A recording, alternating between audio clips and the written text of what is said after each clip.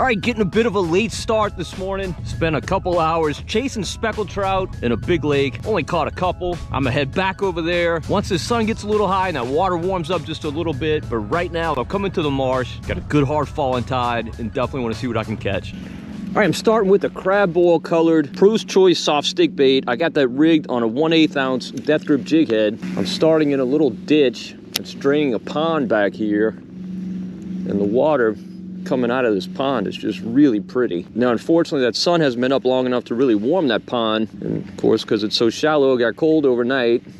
So that pond right now is 57, or at least the water coming out the pond is 57.6 degrees. That'll change as the day moves on. That sun is up in the sky as you can see. So that pond's getting warmer every second. Water's absolutely gorgeous. I like this crab boil in pretty water. Water's super low as you can tell. It's falling, but it's already really low. Kind of limiting where I can fish, but I know when I find them, they're gonna be stacked up.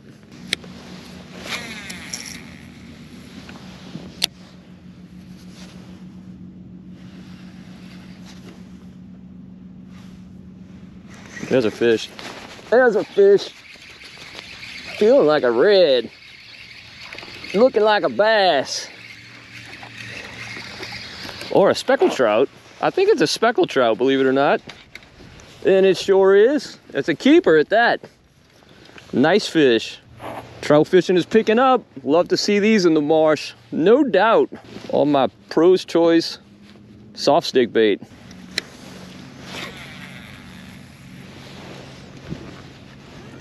It's one of the things I just love about marsh marsh fishing. Ooh, oh shoot, I missed that one.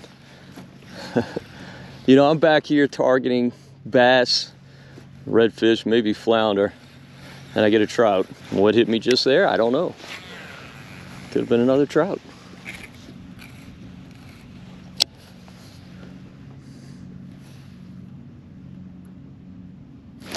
There's one. There's one. That hit like a trout for sure. For sure.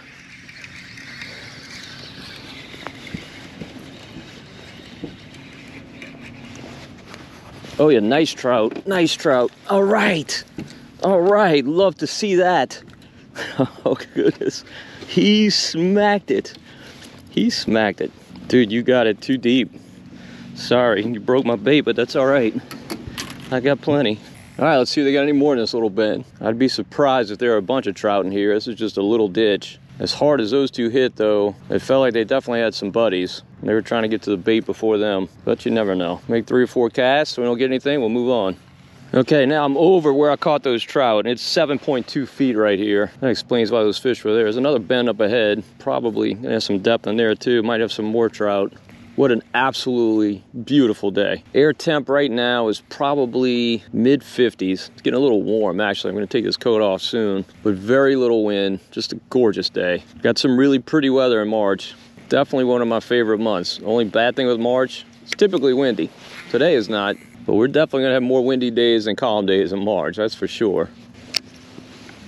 All right, I'm in this other bend. It's not as impressive as I thought. It's only three and a half to four and a half feet deep. No bites in it, but it's the end of the line for us. This is a really short ditch that drains this pond here, but that water is getting warmer in that pond. It's 58 degrees now. Come back here in an hour or two, it'll definitely be in the 60s. End of the day, it might be in the 70s. Warms up that quickly. All right, no other bites. Is that because there's no other fish in here? Or they don't want what I'm throwing? Who knows? But I'm gonna throw the bait of this fall and winter. New Year's Eve H&H Cocahoe, quarter ounce death grip jig head. The way the last few months have gone, if I don't catch anything on this, there's just not feeding fish in here. That's how good this bait has been.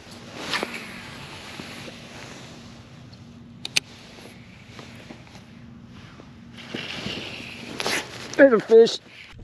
Oh.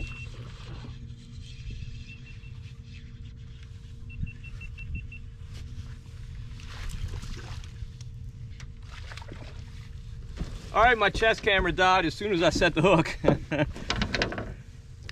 but that's that New Year's Eve. Nice bass. Literally the exact same area we caught the, those speckled trout in. Just amazing. Just love it. Just love it. Oh, he was hooked deep too. New Year's Eve. That fish was nice enough to hold on to my bait for a minute. I never felt him hit at all. Just saw my line running.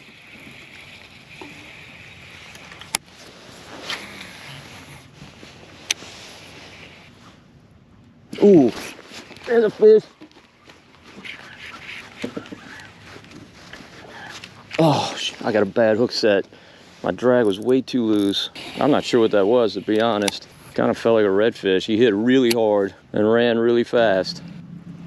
All right, we're gonna mosey, go find a different area, find some more fish. All right, I shed the heavy winter stuff. Whew, feels a lot better. Air temperature is getting nice and warm. Now I've come into a, a, more major bayou than what I just left. I like fishing these major bayous when this water's really low like this. It's where those fish get stacked up. Now I'm sticking with this crab boil colored Pro's Choice soft stick bait. I've got this rigged on an eighth ounce death grip. May not be quite enough for this bayou. Right here is seven feet deep and the tide's really, really ripping. Really ripping out. So I might have to change that to a quarter ounce. We'll see. All right, I'm having trouble fishing this well because of how light that jig head is. This New Year's Eve is on a quarter ounce. So let's see if that makes a difference. There's a fish. There's a fish. Just had to get down to him.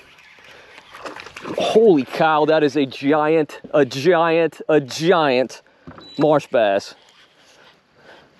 Good night.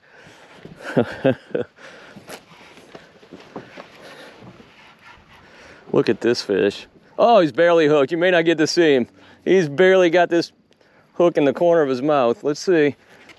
Oh, we got him. We got him. Look how barely hooked this guy was. But that's a big marsh bass, man. That's a big fish. I'm gonna let go of my bait. Just had to get down to him. Man, it's a beautiful fish. Love to see it, love to see it. I'm guessing that fish is pushing three which is a big marsh bass. That's a really big fish. Go ahead, dude. Thanks for the fight. I appreciate it. This tide is really ripping. Not that I'm complaining. I like a fast moving tide much more than a dead tide. Sometimes it can move too hard. Today it's borderline too hard, but even still, give me that any day over a dead tide.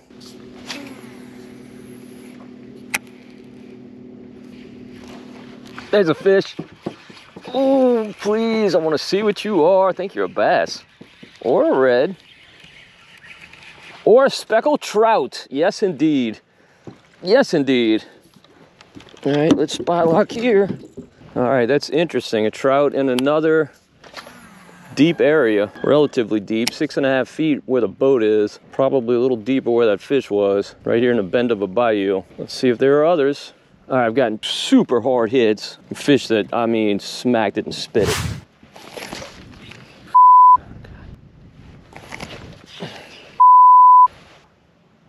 Ooh.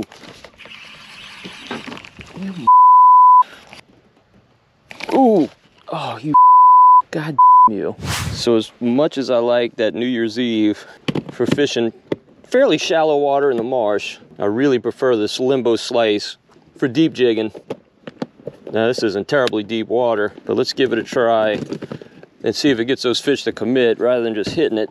So limbo slice matrix shad, of course. I've still got it on this quarter ounce death grip jig head. And I've repositioned myself up current of where I'm getting these bites. I really like fishing against the current when I'm deep jigging. I like that tail just flapping in the current with the bait kind of just holding still. Just kind of pick it up and put it down.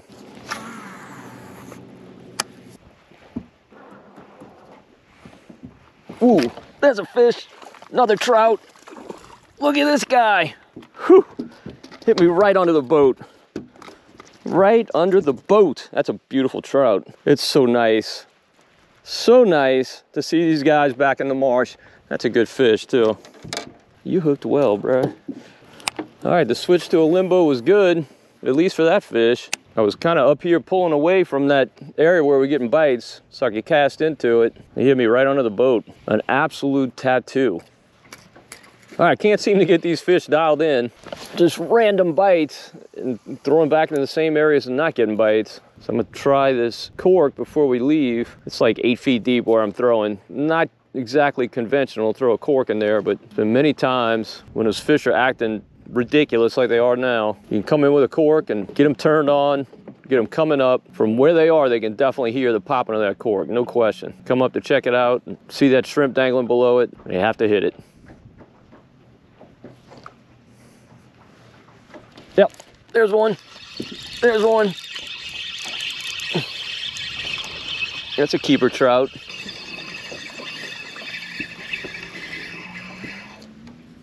All right. Welcome to the team, buddy. Welcome to the team. On that TKO. Ooh, fell right out. Happy to have you. Some really nice trout. They're all 14 to 16 inches, which is, you know, it's not bad. Good solid keepers. Throw right back where I was. See if we can attract another one.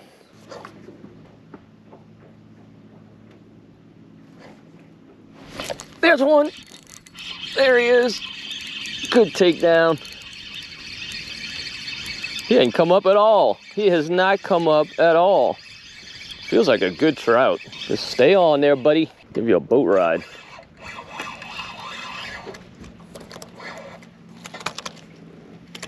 Oh yeah, good trout. Real good trout. That's about an 18 incher there. Beautiful, beautiful fish. He was hooked super well at that TKO. Now, I don't like eating fish this size. I like to let them go. This one I'm gonna put a tag in.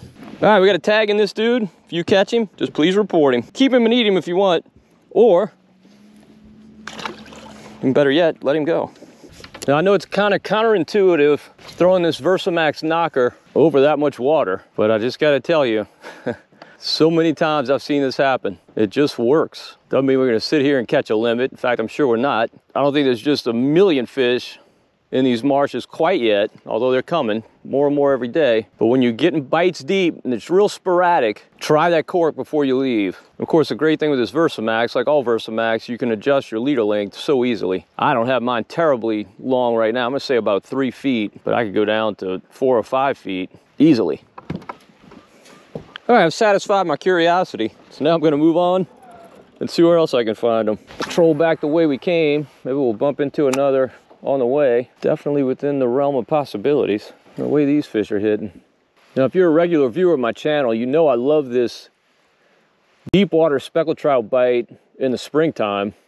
It's always good in the spring, but it typically is kind of an April and May deal. I've seen it happen as early as March 1st. Last year it happened in March, and obviously this year it's happening in March. I wasn't really expecting to do this today, but this is what the fish were doing, and I love doing this. It is a very, very fun way to fish.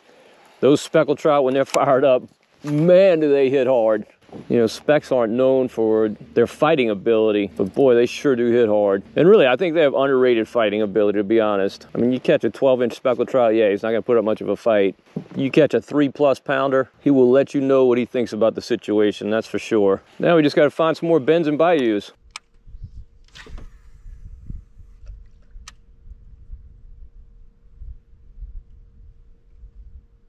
Ooh. Oh, camera died again.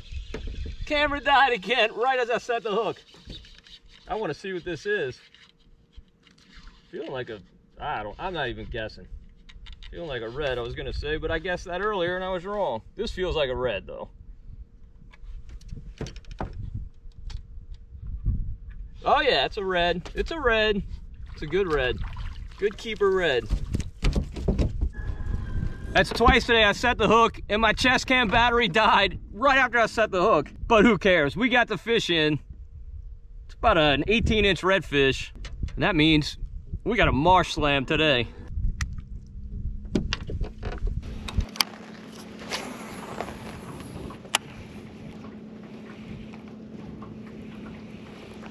Ooh, there's a fish. Another trout. Another trout. Nope, redfish. Redfish. It's funny how certain colors attract certain fish. Redfish love this limbo slice just like speckled trout. I don't catch nearly as many bass on this color as I do the other two. We're gonna measure this guy, tag him, and let him go. All right, we'll get this guy back. Well, he's nice and healthy. There you go.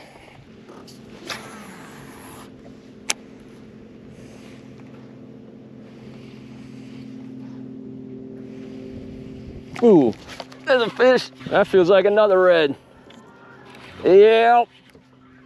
Yep.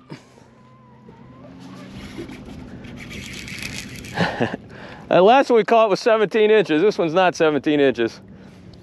I haven't laid eyes on him yet, but I'm guessing he's uh, 22, 23. I've got this 12 pound test leader, so I'm not gonna horse him. So beautiful. Man, I love these fish. So beautiful. He's a definite netter. Let's go get the net. Just trying to hide under the boat. I don't blame him. Ah, he's bigger than I thought. He's about 25. Yep, about 25, I think. I'll tell you this, I can't pick him up. This fish is spunky. Spunky! Come on, Spunky. Ah, he might be a 27. Ah, he's pretty big. He's about done.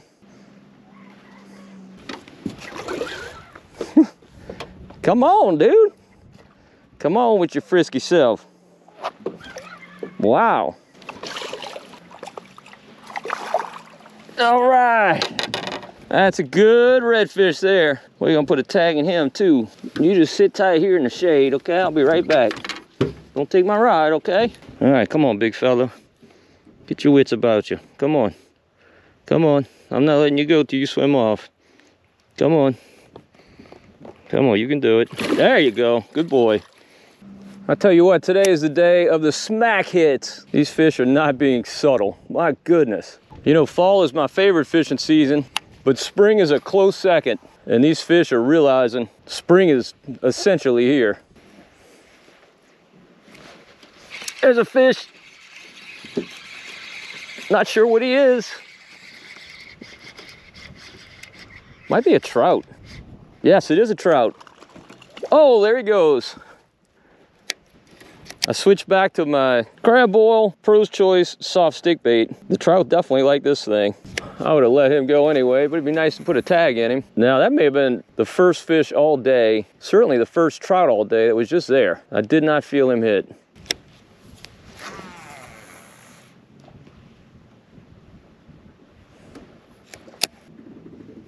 Oh, there's another one that felt like a trout hit yep sure is All right. All right. That's, oh, he threw my bait off. There goes my crab boil. Ooh, man, look how deep. Look how deep. You really wanted that, didn't you? I was gonna let you go, but I can't now, because you're gonna be a bloody mess by the time I get this out. Look at that. Think he's not bloody? I tell you what, they love this bait. These speckled trout love this bait. I don't know what's in this water that makes them want to hit this.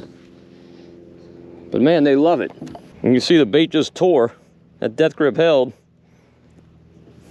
Of course, that bait's a whole lot longer than that hook shank, which I like because it gives it a ton of action.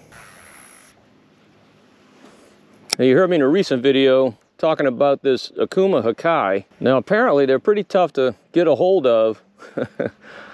They're actually, oh goodness. Oh, I missed him. Good gracious, did he smack it?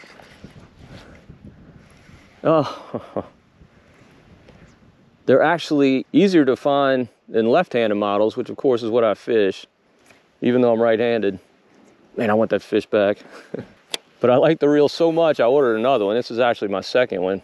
I just got it this week. I've got a team with this Okuma tournament concept rod I've been talking about going down to some lighter rods to team with my lighter line that I've been fishing lately. And this this is a step toward that. This is a, a medium rod. I can tell you it's super light, especially team with this Hakai. This is the first day I'm fishing it. So far I'm a fan. I mean the sensitivity's been fantastic. Either that or these fish are just going crazy.